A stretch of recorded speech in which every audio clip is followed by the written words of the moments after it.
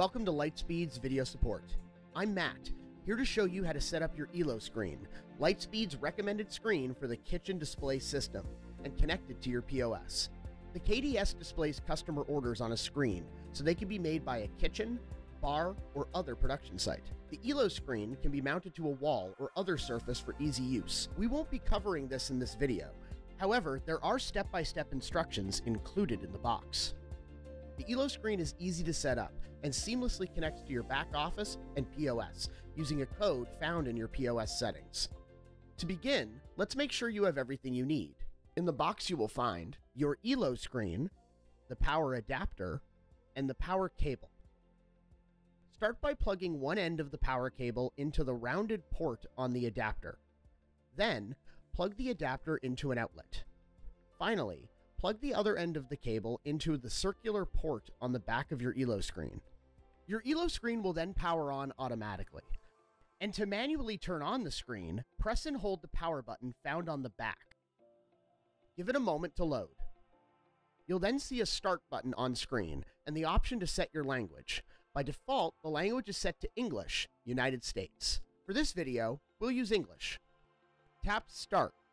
You'll now be prompted to connect to your network. We recommend that you connect to your network via an Ethernet cable, directly into your modem or router. The ELO screen is also Wi-Fi capable, which we will use to connect in this video.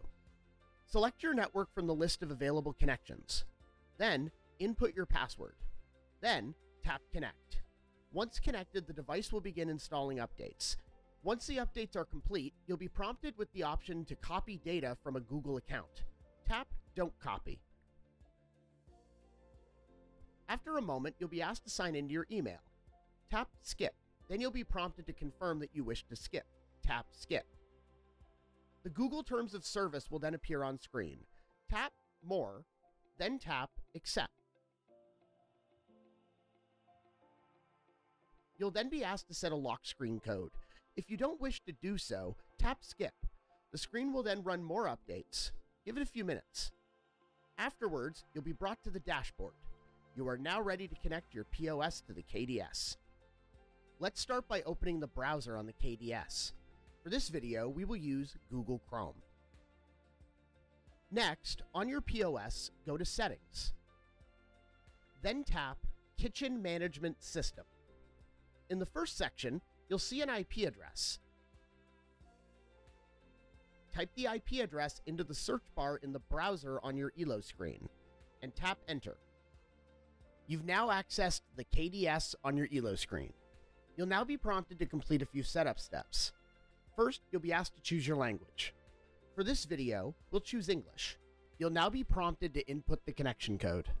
Back on your POS, under the Kitchen Management setting, under Server, you will see the connection code 7194. Type in the code, then tap Connect.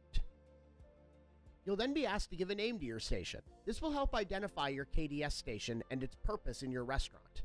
For this video, we'll call it Kitchen. Then tap Enter.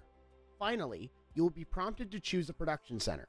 For more information on production centers, click the link in the description for the Help Center article, select your production center, and then tap Save and Continue. The KDS UI will appear on screen, and you are now ready to process orders. To make the KDS full screen, tap the full screen button on the top right corner of the screen. Now, let's run a quick test to ensure the KDS and the POS are properly connected. On your POS, start an order.